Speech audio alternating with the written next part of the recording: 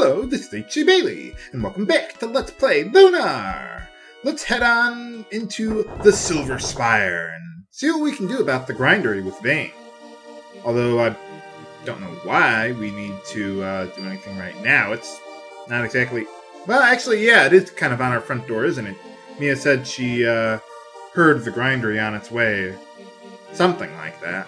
So That staircase kind of reminded me of... Uh, what was it called? Daryl's Tomb? Or whatever it was in Final Fantasy VI. Although I suppose any number of staircases might be like that. Yeah, why did we anyway? Uh, you didn't answer my question, Nash. Oh, okay, that does so. Okay. So only special people can teleport here. Well, Mia is special. For some reason, that picture reminds me of something out of Terranigma. Of course, again, it could be any number of pictures from the game. What are you going to do? Like a spirit bomb or something? Or a Mako cannon? What are you going to... Well, no, Ghaleon's the one with Mako cannon, actually, but... I mean, he's got a grindery with cannons and stuff on there.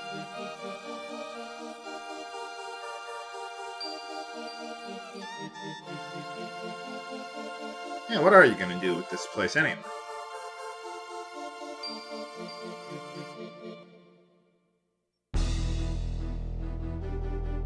Did she just refer to herself in the third person? Mia can do this. Mia's a caring soul. Now here's my question to you, viewers. How is the grindery coming from that direction? There's an ocean there! Even if he came up from the south, there's mountains in the way. Last time I checked, uh, tanks don't handle non-level terrain very well. It doesn't exactly look like the most stable tank. It kind of looks like it's about to shake apart any minute. Maybe you should have thought your plan more thoroughly before taking using the grindery. Maybe take it on a test run first, or test drive or something? I think you should have thought your plan through a little more, Ghaleon. I'm disappointed in you.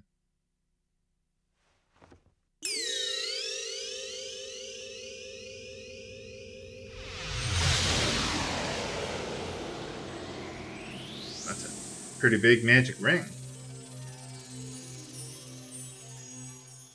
Oh, that must be all the people they evacuated or something like that.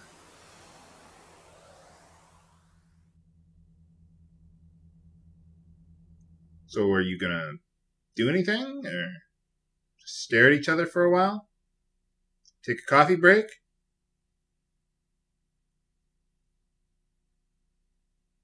Game?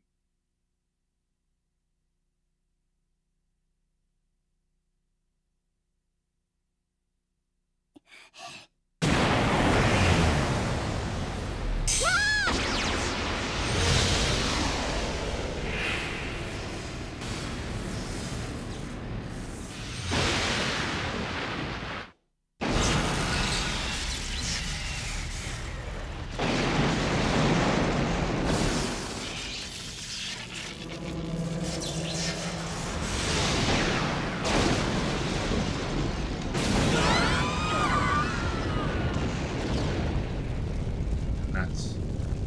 Was gonna say, haha, you missed, but not really.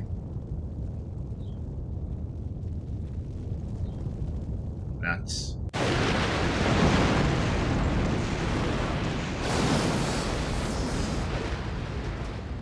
And they died. Did we do anything to the grindery? Were our efforts for naught? Yay! Happy music! Yeah, yeah, we're okay. Oh, I should have said they might be okay. Why would you be dizzy? Maybe she hit her head or something, I don't know. Whatever you say, doesn't really seem like much of a tie. It seemed like uh, Ghaleon kind of won that battle. Oh. So he utterly destroyed us, but we only barely scratched him. Doesn't really sound like a tie to me. Yeah, yeah. Oh, okay. What do we need those for? Can't we just go back out the same way we came? No, no, you cannot. Uh, oh. Oh, okay, that's why we can't do that. You can't even warp to Vane anymore. Vane is, uh, kind of gone now. Oh, wow. Okay, well, we could head to the Grindery, or we can do side quests. So, let's go do that. Uh, let's see. We yeah, you can't even warp to Vane anymore. Uh, we can go to uh, land, though. Let's go there first. Dun, dun, dun, I wonder what happened to all the hobos living in uh, under Vane in the Cave of Trials there. They probably all died. Oh, man. But actually, um, well, I'll tell you in just a moment. Hey, how's it going? Oh, what did you find? One of the best items in the game? Yes, it is! The Ghaleon's Tear. Uh, what it does is it lets your physical attacks hit all enemies. It is really good during uh, random battles. So uh, I'm going to take that. Ghaleon's Tear. And I'm going to give that to Nash, ironically, because you got the Dream Bow, hits all, or puts an enemy to sleep about 50% of the time.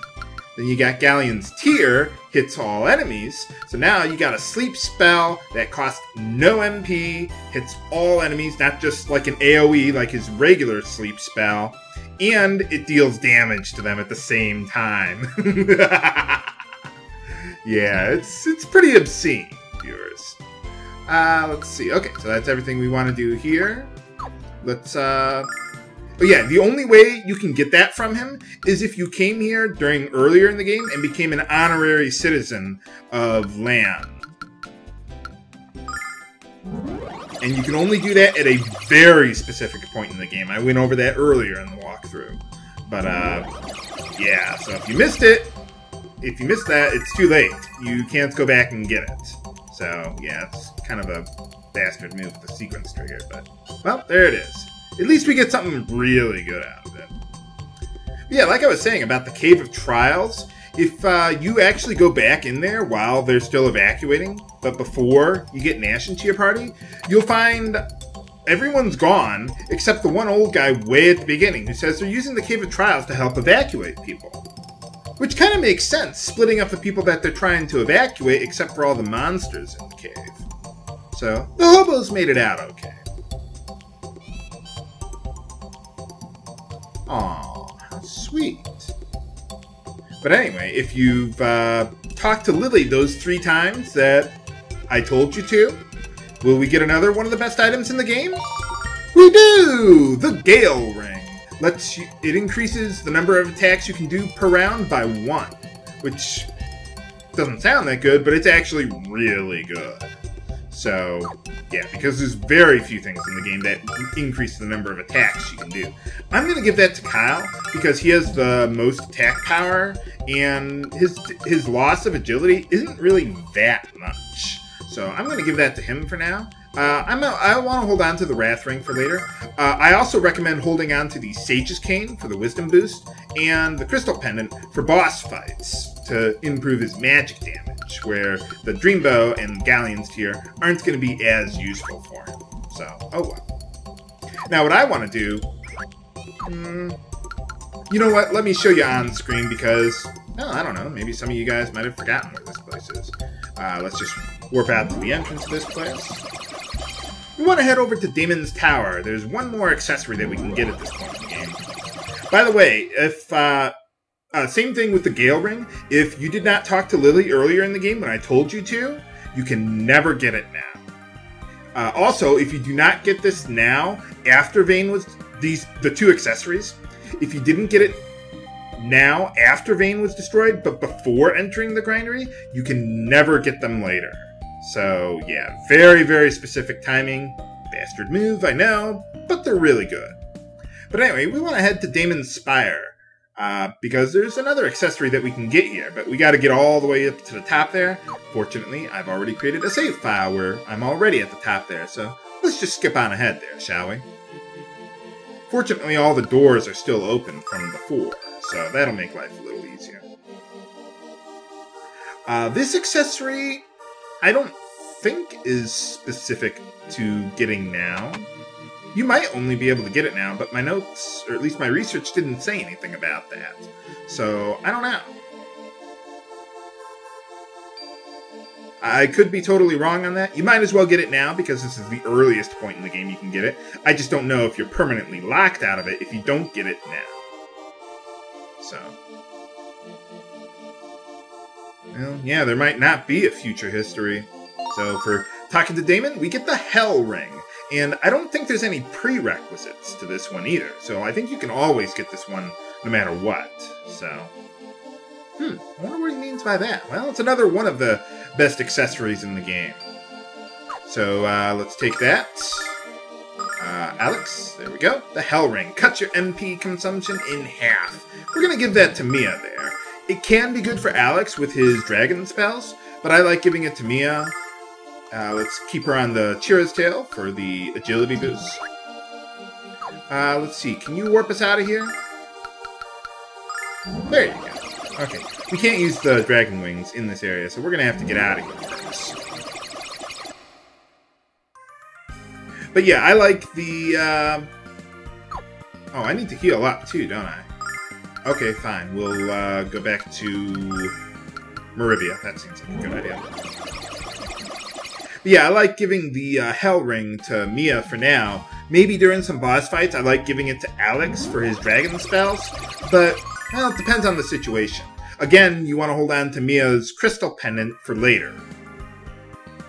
Like during boss fights when uh, I don't care about MP consumption as much for her because she has so much of it. So, anyway, just wanted to go back to Meribia to heal up. There's the grindery. It's kind of just sitting there. Ghaleon's taking a coffee break, so...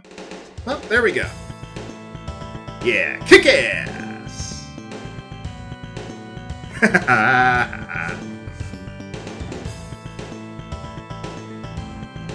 Maybe we should just not. You could try climbing the thing. Oh, there's a door. I guess the Emperor has been expecting you. Mother scratches. Not really swearing, but I'll take what we can get. Let's put our new accessories to use. Death Armor. These guys are weak to just about every element that we got. Uh, even though Nash is only going to target one enemy, his physical attack will hit all enemies.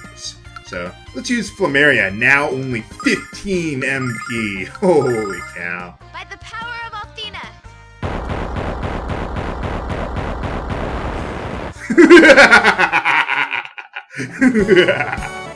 oh, baby!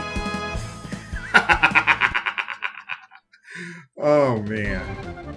Yeah, this is the part where we just broke the game. Uh, didn't we kill the other guys? Game?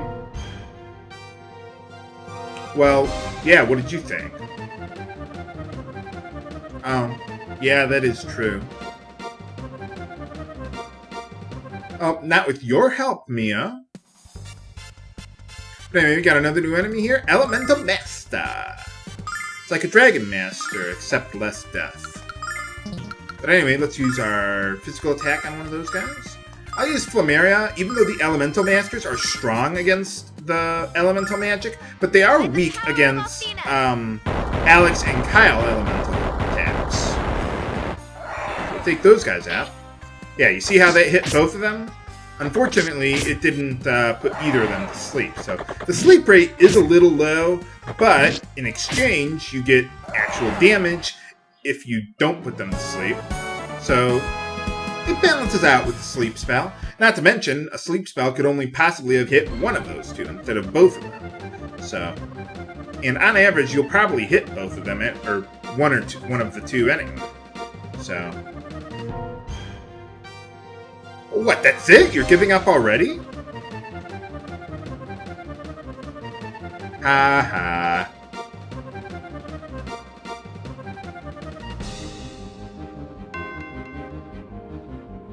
Yeah, right. I think he was uh, exaggerating. I could have cliffhanged you guys there, but nah, I'll play nice today. Besides, I don't want to have to go through those two battles again without, because I'd have to do that off screen with saving. But hey, hey, all right, Tempest and Fresca.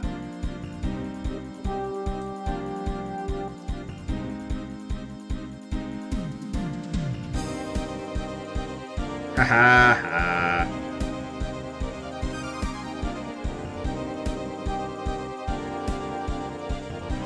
Kind of reminds me of uh, Final Fantasy IV. Because as we all know, there are always giant robots. Always. Not that this is exactly a robot, but close enough. It works. You know what? I'll go for a little more length on today's episode. Uh, there's one more new enemy. Well, there's two more new enemies in this area, but uh, I don't. The second one isn't on, or the fourth one is not on this floor. So I'm just going to show you the one new enemy, the uh, the magic machine. So let's see. Let's hit all of them. Use.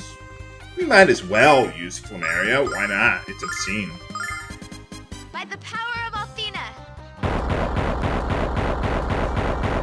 None of these guys are weak to anything, so oh well. Not two out of three, not bad. The uh, magic machines seem to be immune to sleep, so I wouldn't, uh, I wouldn't really worry about that.